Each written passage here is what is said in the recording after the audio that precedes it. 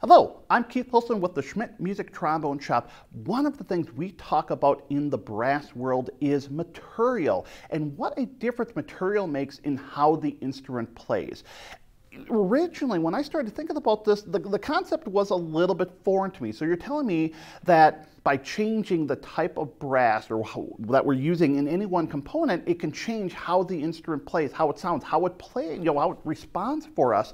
But you know, over time, over my years with the shop, and you know, talking with uh, you know top and world-class manufacturers and artists about their experiences with this and how they go about designing building instruments, I've really come to understand that it does make a big difference. And in a lot of ways, I, have come to understand why this is because it all has to do with resonance. And we'll talk about that a little bit more here in a little bit here. But it is amazing what a difference materials can make, even just a subtle difference.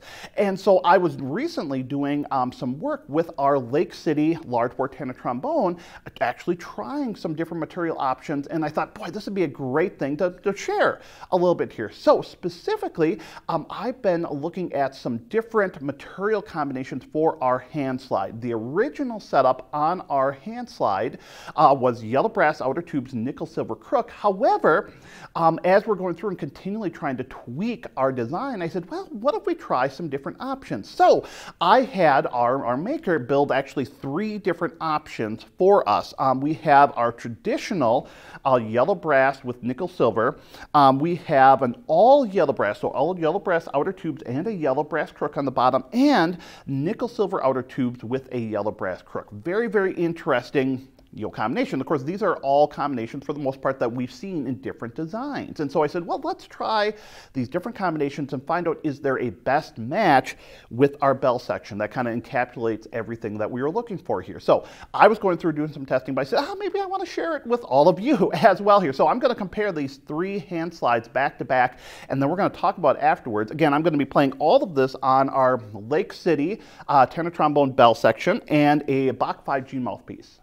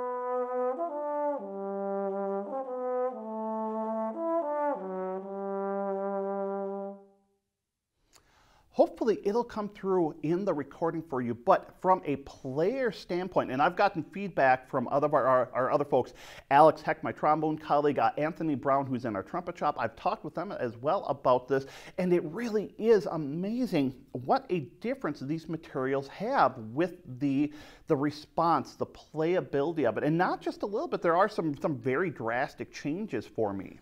So the first slide I hand started off with was uh, this one. So nickel silver outer tubes yellow brass crook. So just as a refresher here, as we're talking through this, um, Nickel silver is a form of brass. Um, it has a, a, percentage of tin, of uh, tin, nickel. They usually say about 10% added to it, which makes it significantly harder, denser than uh, yellow brass.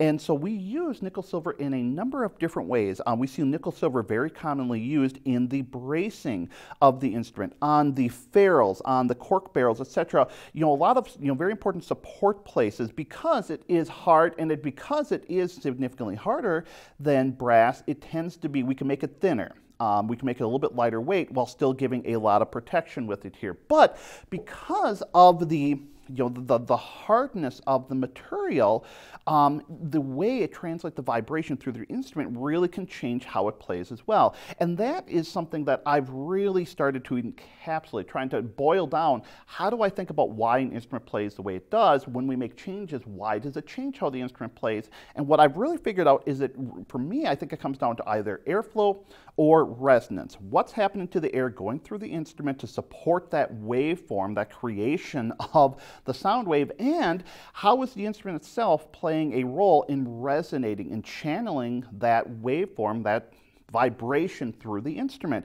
And it's amazing when we think about it like that, we start to understand a little bit more like why all these little changes make a difference in what's happening to the overall sound. We, you know, the, the timbre, the, the different overtone structures, the different frequencies that we have in there, and why the instrument response changes. So for me, the nickel silver with yellow brass crook was interesting. It the sound was a little, I don't want to say dead, but it was a little plain to me.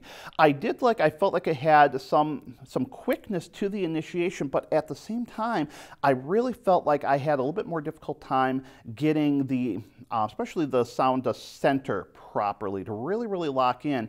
And boy, especially in the upper register, lower register, getting down to the pedal register and um, going up to, uh, to, for example, B flat, eighth partial, and beyond, I really felt like I had to struggle quite a bit with this, um, this slide.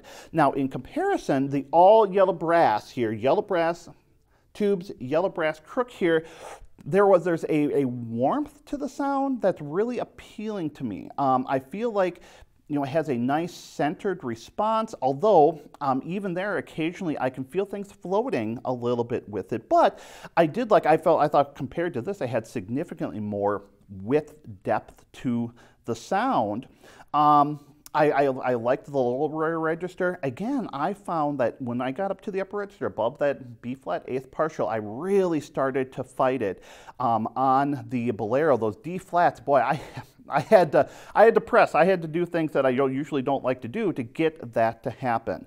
Now, the third one I played was our the, the setup that we've gone with for a while here. Yellow brass, outer tubes, nickel silver crook.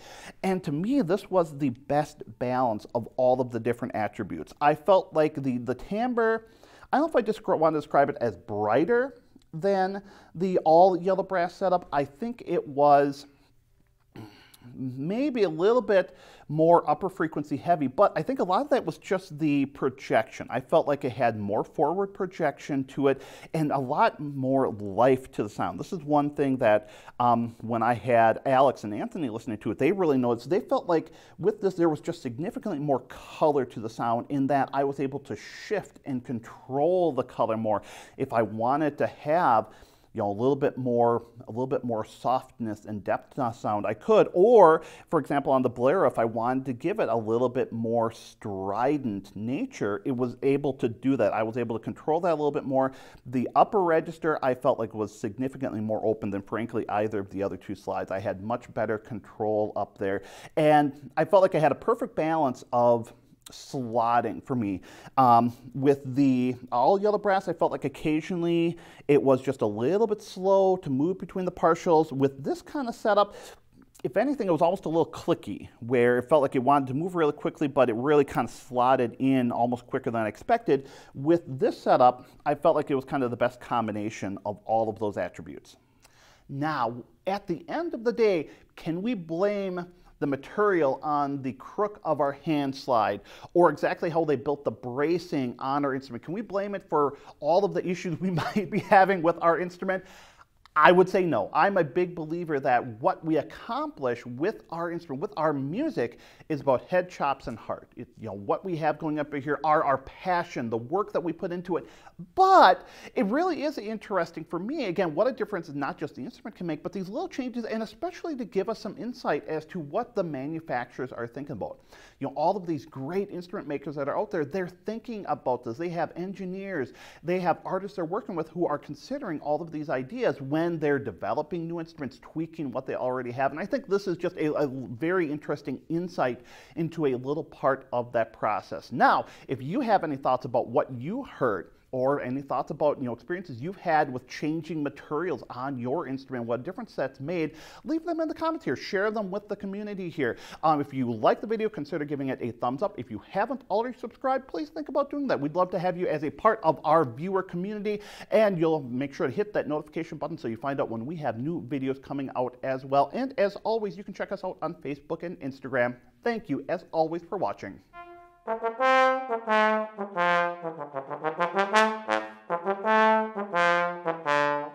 you.